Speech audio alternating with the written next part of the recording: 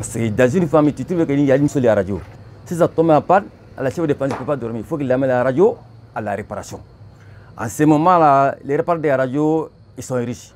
Souvent, on commence à travailler le matin jusqu'à le soir. Souvent, il y a même, on passe la nuit à réparer la radio. Mais maintenant, la radio est devenue électronique.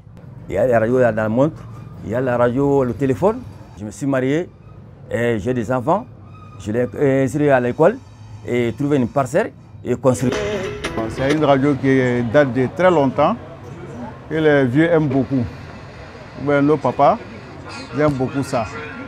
Bon, c'est une radio vraiment, la performance est très efficace.